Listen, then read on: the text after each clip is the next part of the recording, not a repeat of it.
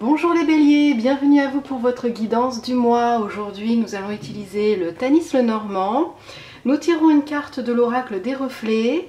Nous irons voir du côté du jeu euh, l'animal totem, c'est donc un tarot que je vous propose ici. Et nous tirons une petite carte avec l'oracle de Gaïa.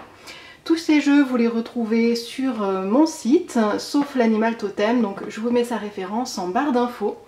Pour avoir des compléments d'information pour euh, votre tirage, n'hésitez pas à aller voir votre signe lunaire ainsi que votre ascendant. Voilà, donc on va commencer tout de suite avec le Le Normand. Nous allons voir pour ces quatre prochaines semaines ce qui se profile pour vous. Donc ici nous avons pour la première semaine la deuxième semaine, la troisième semaine et la quatrième semaine. Alors, on est un petit peu hors cadre.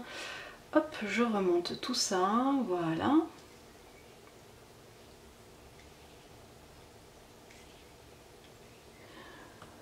Voilà, donc là, on est bon. c'est parti donc pour votre première semaine, on voit que euh, cette semaine va tourner autour de la communication, des messages que vous allez recevoir. Vous allez tantôt recevoir des messages écrits, tantôt recevoir des messages oraux, beaucoup de communication, on est vraiment dans une grande communication ici. Vous allez même communiquer aussi et vous retrouver avec des personnes que vous ne connaissiez pas jusqu'à présent, donc des regroupements également. Euh, c'est une semaine qui est propice aussi à tout ce qui va être nouvelles rencontres, échanges. Beaucoup beaucoup d'échanges. Hein. Cette première semaine elle est vraiment sous le, signe des échanges, sous diverses formes, que ce soit... Euh, tantôt chez vous à recevoir des messages, à communiquer par mail, par SMS, euh, ou bien carrément de rencontrer des, personnes et puis d'échanger directement avec elles. Euh, on voit que les messages se font de façon euh, fluide, c'est fluide, c'est léger, euh, vous allez parler de tout, de rien, vous allez avoir de nombreuses discussions sur tout un tas de sujets variés. Et, voilà, donc, on vous invite hein, bien sûr à être dans ce partage, dans cet échange, et puis même à le, favoriser aussi si vous avez des rencontres à faire. Eh bien, ou des rendez-vous à prendre, n'hésitez pas à le faire pendant cette première semaine puisque vous voyez les, énergies sont vraiment très très fluides pour, euh, ces échanges. Pour la seconde semaine, euh, votre semaine va tourner un petit peu plus autour de la santé, euh, des, petits tracas, des petits ennuis de santé, des petits stress. En fait, vous allez, avoir, vous allez être pas mal stressé pour cette seconde semaine. Et on voit que ça va rejaillir un petit peu sur, sur votre santé, donc euh, maintenant que vous êtes au courant, prenez soin de vous. Si vous vous sentez stressé, prenez le temps justement eh bien, de, vous apaiser, de, prendre le temps de souffler, de vous reposer un petit peu. Euh, voilà. Et puis euh, il y a beaucoup aussi une semaine qui est sous le signe de, des connaissances. Alors comme on est à la fin de la... Enfin on a cette euh, ce mouvement hein, de passer de la première à la deuxième semaine, et on a ici le livre qui est ouvert, hein, on voit que vous allez plus vous recentrer sur vous-même. Alors vous pouvez toujours hein, bien sûr partager autour de vos connaissances, partager autour de votre savoir, mais comme la couverture du livre est tournée euh, du côté gauche, enfin de là où je suis placée pour moi c'est le, côté gauche, donc on a hein, ce côté euh, plus vers le passé, on voit que vous allez peut-être fermer quelque chose. Ici vous allez plus vous recentrer sur vous au niveau de la seconde semaine et plus vous focaliser sur vous, sur, euh, votre santé, sur euh, prendre un petit peu plus le temps pour vous aussi durant cette seconde semaine. Durant la, troisième semaine, eh bien, il y a peut-être un voyage qui va se terminer pour vous ou une situation qui était en lien avec un déplacement. Euh, soit un déplacement, soit un voyage qui s'organisait. En tout cas, il y a quelque chose qui, prend fin euh, durant cette troisième semaine et qui est lié à un déplacement euh, pour vous. On voit d'ailleurs aussi que ça va, ça va vous, vous, alléger également d'un poids. d'ailleurs, on a ici les souris suivies, parce qu'on ne lit pas forcément toujours comme ça, avec le normand, ce qui est intéressant aussi, c'est de lire, hein, euh, de lire dans, tous les sens, en croix, en diagonale. On voit un petit peu l'énergie euh, de ce qui se profile en lisant aussi euh, de haut en bas, de droite à gauche, etc. Et on voit aussi que vous allez du coup peut-être mettre fin à, ce, à, ces stress aussi durant la troisième semaine. ou, alors, que justement ce stress-là était lié peut-être à, ce fameux déplacement, à cette à cette organisation peut-être de déplacement et que le fait aussi euh, d'y mettre un terme, de, clôturer ça, va vous permettre de pouvoir passer à autre chose aussi. Voilà, donc il faut que vous vous allégiez des fardeaux qui pèsent sur vous parce qu'ils vont être trop présents durant la, seconde semaine, ils vont trop peser sur vous et il faut durant euh, cette troisième semaine que vous vous allégiez à ce niveau-là. Donc euh, prenez le temps de, réfléchir à ça, prenez le temps justement de, vous apaiser par rapport à tout ça. Durant la dernière semaine, là, on vous invite très très fortement à écouter votre intuition, à revenir sur vous.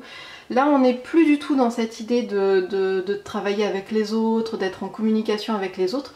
On est plutôt là, on, revient et on voit que c'est un chemin hein, que vous faites à partir de, la, de la seconde semaine aussi. Tout doucement, vous vous préparez à cette dernière semaine où vous allez plus eh bien vous recentrez sur vous, vous recentrez sur votre intériorité, sur vos besoins personnels. On a une petite forme d'égoïsme, mais j'aime pas trop dire égoïsme parce que c'est connoté négativement, alors qu'en fait c'est pas du tout le cas ici. Euh, ici, on est vraiment dans cette idée de revenir sur soi, revenir en soi pour arriver à écouter aussi pleinement votre intuition. On voit qu'il y a un homme qui va euh, se profiler euh, durant cette quatrième semaine, qui va vous accompagner tout au long de cette quatrième semaine, qui va être plus présent pour vous, donc une personnalité masculine. Et, et en même temps, cette personnalité masculine, elle clôture ce mois-ci en se tournant, vous voyez, vers la droite, donc vers le futur. Et là, on a une idée de au début de la première semaine, on se concentre sur soi, sur ses objectifs, mais à la fin, on finit quand même par avoir un, focaliser son objectif sur le long terme, sur plus tard, sur l'avenir, et du coup être, être euh, dans cet objectif de mise en action pour plus tard. Donc vous vous refocalisez sur vous, vous vous recentrez sur vous, mais vous perdez pas de vue vos objectifs parce que justement vous allez mettre en place des choses aussi pour plus tard, pour votre avenir, pour euh, peut-être le mois prochain ou pour l'avenir justement de, façon globale. Voilà. Alors, au niveau de la carte de l'oracle des reflets, on a la dualité.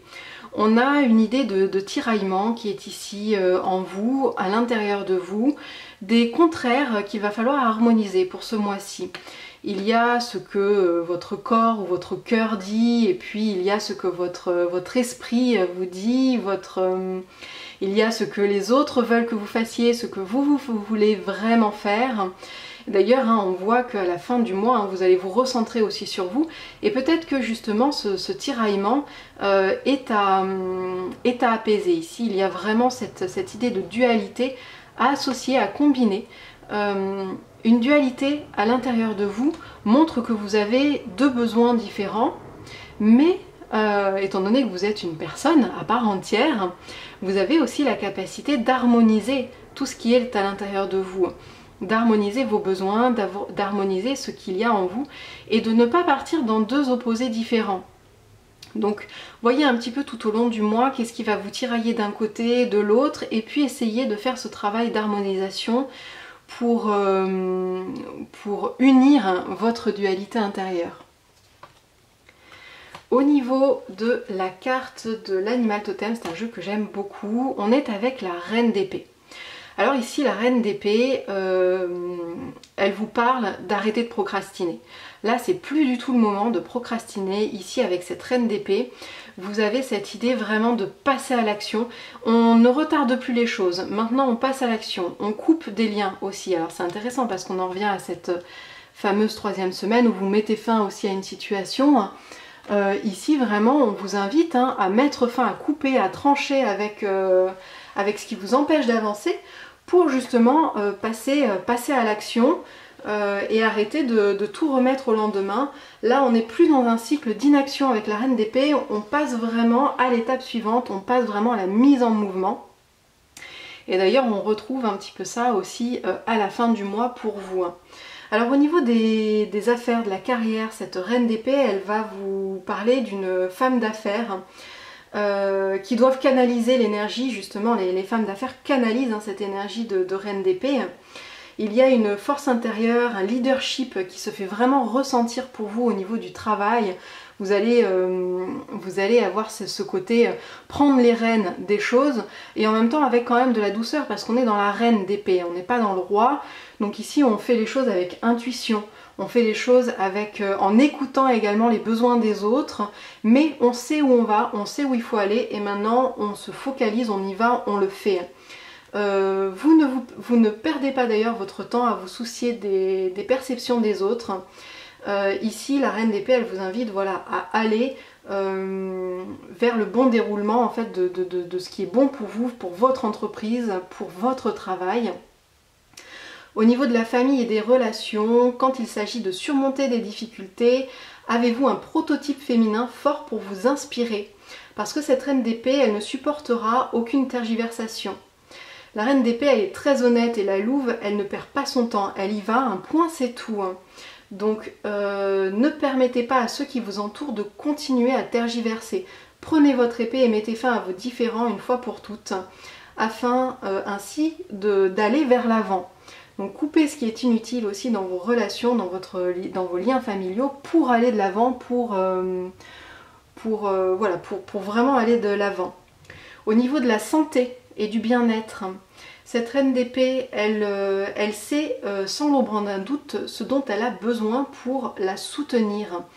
il y a une idée d'être déterminée, d'être concentrée, de ne pas se laisser distraire, d'être focalisée sur ses propres besoins euh, vous avez des objectifs à atteindre et vous savez, vous savez comment les atteindre. Donc maintenant, il n'y a plus qu'à les mettre en action. Voilà. Alors, euh, avec le petit oracle de Gaïa, nous allons donc terminer cette...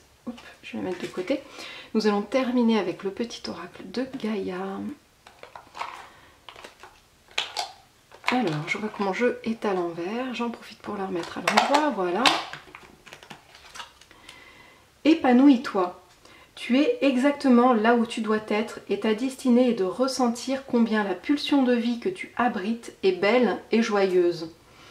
Voilà, donc là, vous êtes en train de vivre ce que vous devez vivre.